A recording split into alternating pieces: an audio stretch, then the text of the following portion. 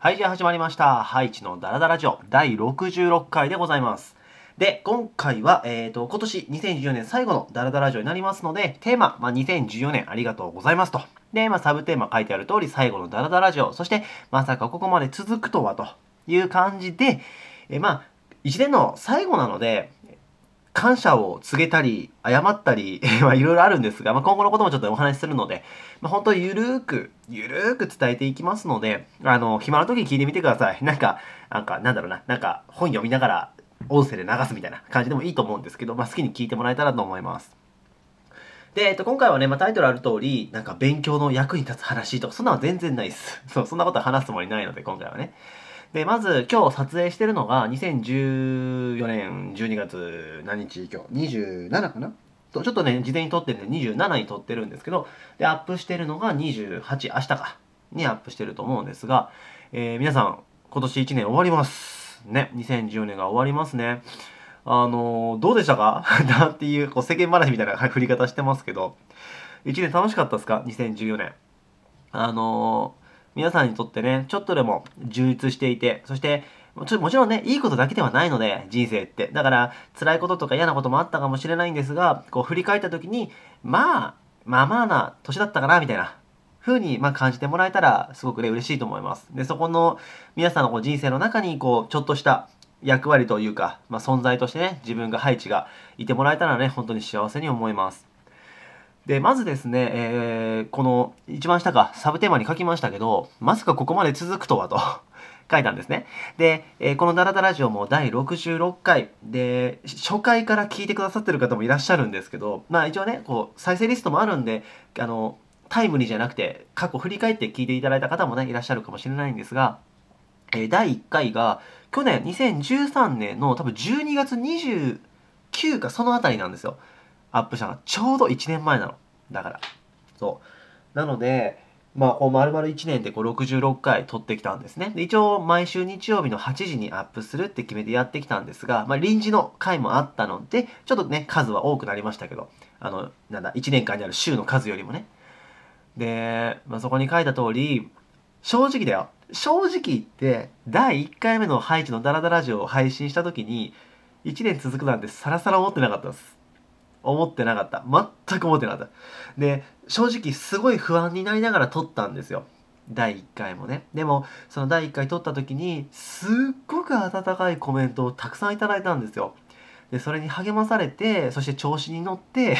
徐々に徐々にこう続けてって。で、なんか気づいたら1年経ってたみたいな感じなんですね。なので、まず、まあ、いつもね、よく言ってることですけど、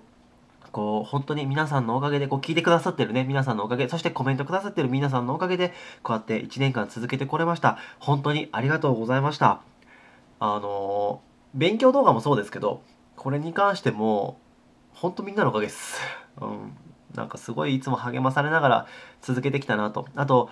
こう、ま勉強以外で喋るじゃないですか。まあ、勉強のこともそうですけど、例えばま受験のこととか恋愛のこととかも話してきたので、いろいろ。だから、そういった勉強以外のことの話が聞けるので、このハイチのダラダラジオだけを聞くためにチャンネル登録されてる方もたくさんいらっしゃるんですよ。そう、そういう話も、勉強動画は見てないんですけどとか。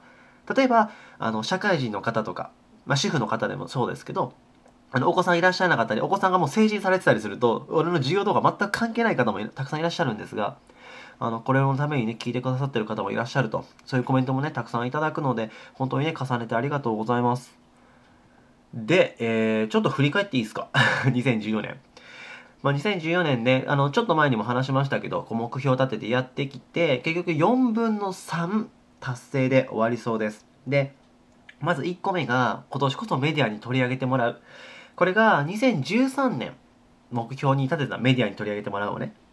でも達成することができなかったんですが、えっ、と、今年、ほんと頭ですね、2月の5日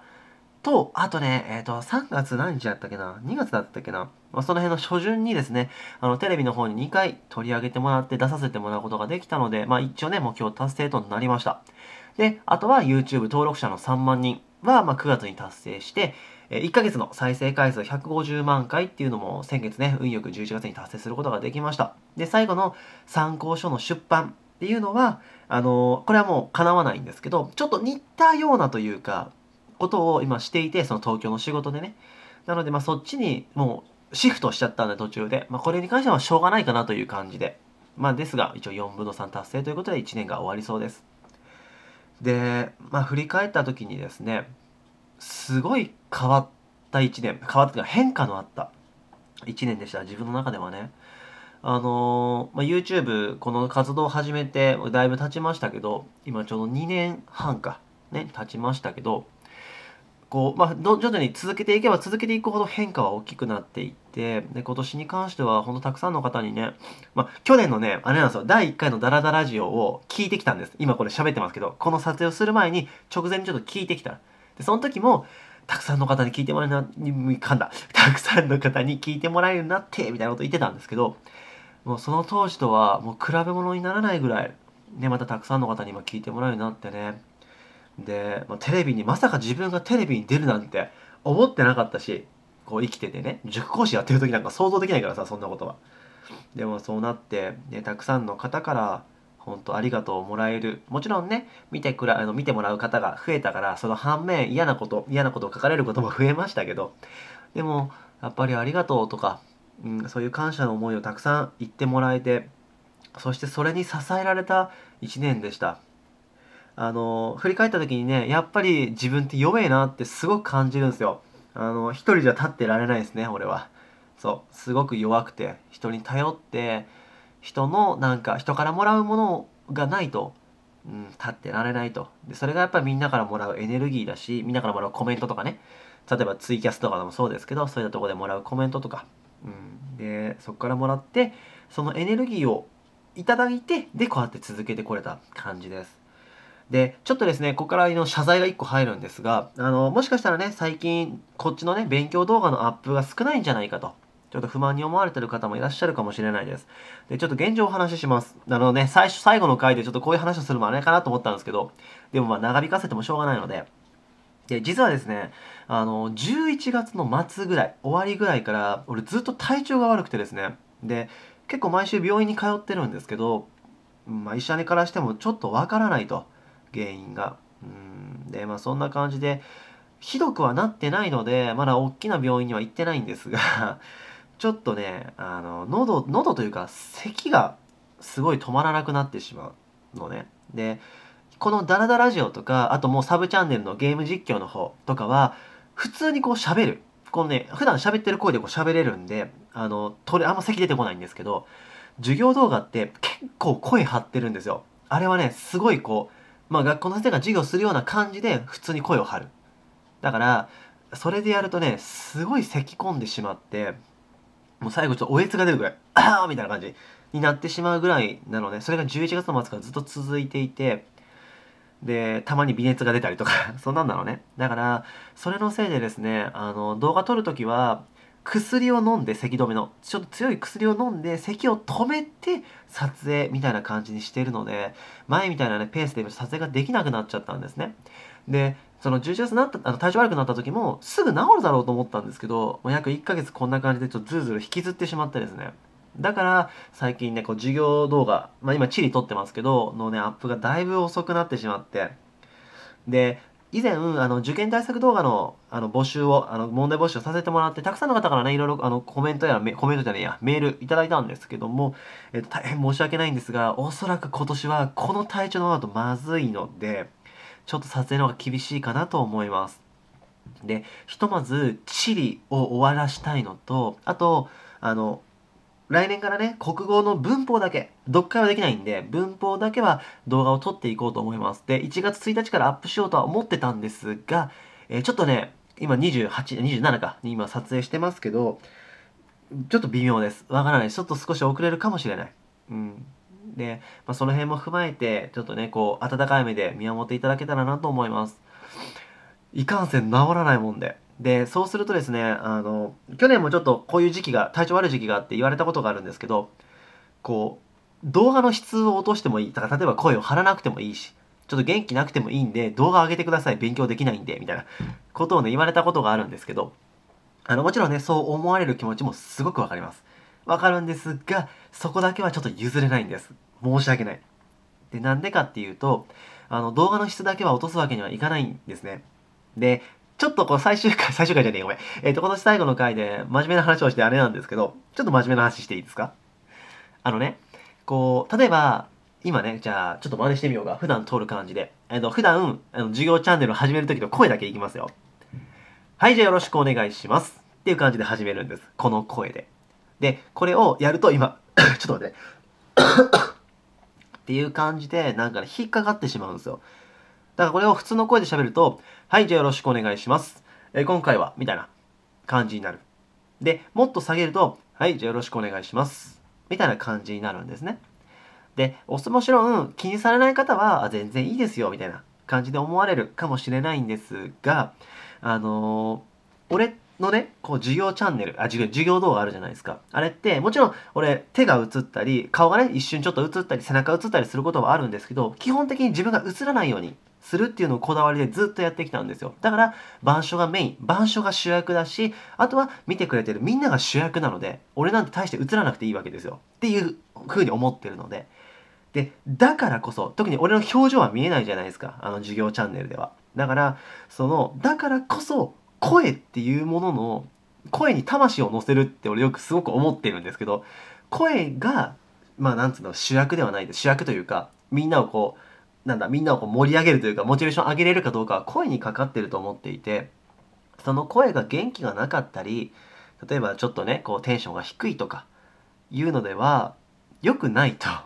俺は思ってるんですね。表情で伝えられないから、その分、声でちゃんと伝えなきゃいけないと。うん。だからこそ、そういうちょっと、はい、じゃよろしくお願いします。みたいな感じでは授業は取りたくないですし、あとはね、あの、自分の将来の夢というか、夢の一つに、こう、YouTuber として、まあ、YouTube でね、こう、勉強動画を上げる人がどんどん増えていってほしいっていうのを心から願ってる。で、そのためには自分がまず、YouTube でこう授業を上げる、上げていっても、仕事としてというか、こう、まあ、じゃあね、YouTuber なんで収入はもらってるので、生活がやっていけるんだよって、こういう社会貢献のやり方もあるんだよっていう。で、YouTube で勉強動画っていう形もあるんだよっていうのを示していきたいっていう思いがすごく強い。で、一応、もちろん他でね、あの動画上げてる方もいらっしゃるけど、おそらく勉強のこう、なんだ、英会話とかではなくって、英会話だとね、すごい方いらっしゃるんですけど、こう、学校で習う勉強っていうことに関しての動画の本数とか再生数、再生回数か、だったら多分、今日本の中では多分、まあ1、2ぐらいにいると思うんですね。で、その人間が、例えばね、じゃあ自分のことを見て、あの自分中学生の女の子とかで勉強動画上げてくれてる子いるんですけど、だそういう子たちがどんどん続いてきた時に、自分が質の低い動画を上げてしまったら、あ、あのぐらいでいいんだって思わせてしまうよね。だからその子の基準を落としてしまう、授業の。で、そんなことは絶対許されないし、ね、先にやってる人間として。だからこそ、自分が納得いくもの、ちゃんと、まあみんなにとってはね、ハイレベルかどうかはわからないけども、いい授業、ね、見てよかったと思ってもらえる授業を絶対に配信したい。そう。だからこそ、ちょっとこの声というか、この咳、体調がね、しっかり良くなるまでは、前みたいなペースで取れないんですけど、だから2015年スタートはね、ちょっと亀さんペースというか、ゆったりペースになってしまうんですが、えっと、必ずですね、あの、動画の活動をやめませんので、続けていくからね。なので、そこも含めてあったかい目で見てもらえたら嬉しいです。よろしくお願いします。ほんとすいません。なのでね、その受験対策動画もごめんね。特にメールいただいた方はほんとすいませんでした。という謝罪です。はい。本当ね、本当に申し訳ない。うん。けれど、あのーこれでもし無理をして、ね、入院とかなったら、動画上げるとかの問題じゃなくなってしまうので、ちょっとこう休めつつ、でもね、撮らないと焦ってしまうので、まあ2日に1回ぐらいはちゃんと撮れるようにアップしていきますんで、今後もよろしくお願いします。では、2000、あ、そう、ツイッターでね、2015年の目標を教えてくださいって言われたんですけど、あの2015年の目標は、えっ、と、次回のダラダラジオ。だから、1月何日や ?4 日かな？そう、4日のダラダラジオで発表しますので、あのそっちに楽しみに待っててください。もう決めてるんですけど、目標ね。で、ちなみに1月はですね、あの、3、4日ダラダラジオアップしてる時ね、自分北海道にいますんで、あの、ちょっと家族旅行を、家族サービスを してまいります。3、4、5とあの北海道の方にちょっと旅行行ってきますので、そのね、土産話とかも今度、まあ4日にはね、4日は事前に撮ってアップしてしまうので、あれですけど、その翌週とか、まあどっかでね、話でき、まあツイキャスとかかな？で話ができたらなとは思っております。で、まあなんだろう、ほんとだらだら話していい？今回。あの、ツイキャスもね、今年始めて、まあみんなにこう、やってよみたいな感じで言ってくれる方がいてね、言ってくれた方がいたんで始めたんですけど、毎週ね、こう、たくさんの方が遊びに来てくれて、本当ありがとうございます。で、そろそろですね、あの、だツイキャスでやってたものを YouTube の方に移そうかなとはちょっと思っております。ただ、あの YouTube の配信の方だと、あれなんですよ。携帯からのコメントがまだできないらしいんで、まあ、そこ改善されたからな、最低されてからかなっていうふうには思ってるんですけど、まあ、またね、ちょっとその辺の変化があったら Twitter の方でね、お知らせしますのでよろしくお願いします。ではでは、本当に皆さん2014年お疲れ様でした。そしてあの、自分に関しては本当ありがとうございました。あのー、なんだろうね。毎回思うんですけど、ありがとうって言っても言っても言い足りないんですよ。はい。そのなんかすごいね、こう、溢れ出る気持ちを伝えたいみたいな 感じなんですけど、まあ、このね、ダラダラジオというか、この声の場面ではありがとうという言葉でしか伝えられないので、まあ、もう一度最後にね、改めて本当にありがとうございました。そして来年もどうぞよろしくお願いします。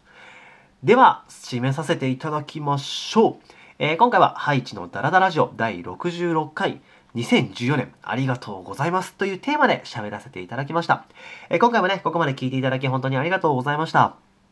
で、次回はね、まあ、さっきも言ったように、えっ、ー、と、来年の、えっ、と、2015年かの目標を発表したりとか、まあ、あと何喋るかちょっと決めてないですけど、まあ、その辺喋っていこうかと思いますので。で、もしよかったら、自分あの、その時には見せますけど、2015年の目標って、ちょっと見せようか、今も。前も見せたんですけど、ちょっと待ってね。あのね、目の前に貼ってあるんで外しますね。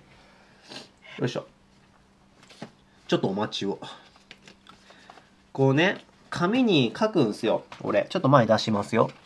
見える？ちょっと上の方消えてるな。ちょっと下げようか。よいしょよしょ、こんな感じ。2010年の目標って言って。で、あの、もちろん真似しなくてもいいんですけど、こう、受験がある子、受験がない子、全然関係なし、もちろん社会人の方でもいいし、主婦の方でもいいんですが、あの、目標を立てるってすごくいいですよ。で、目標を立てたものは必ず紙とかに書いて、目に見えるとこに置くのが絶対ベストです。はい。